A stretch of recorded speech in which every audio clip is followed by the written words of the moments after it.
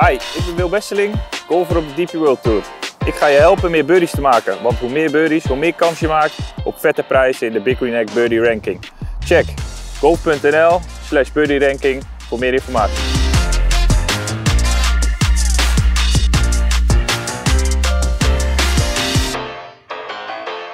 Ja, daar zijn we weer. Er is een nieuwe vraag binnengekomen van Jeroen. Dus even kijken.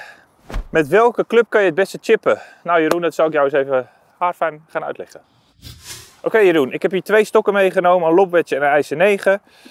Ik zal even laten zien wat het uh, verschil tussen de twee is. De lopwedge zal wat meer vliegen en minder rollen. IC 9 zal iets korter vliegen en wat meer rollen. We beginnen even met de lopwedge. In principe sta ik redelijk hetzelfde. Je ziet, die heeft een wat hogere, hogere vlucht en wat minder rol. De IC 9 grip ik wel iets korter, anders wordt hij iets te lang.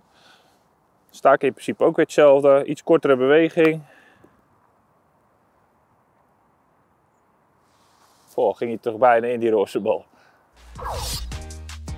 Om er naar achter te komen wat voor jou het beste werkt, is het goed om een rondje rond de green te gaan, rond de chipping green.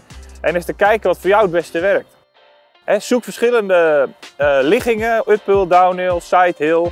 Ik gebruik dit, maar dat is natuurlijk niet uh, gegarandeerd dat dat voor jou ook werkt. Dus zoek vooral uh, de club die bij jou past, waar je je prettig bij voelt. En ga daarmee jezelf verder ontwikkelen.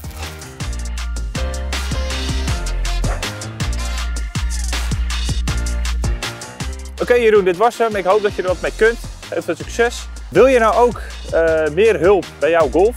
Reageer in de video hier beneden. En misschien krijg jij ook wel de drill van Wil.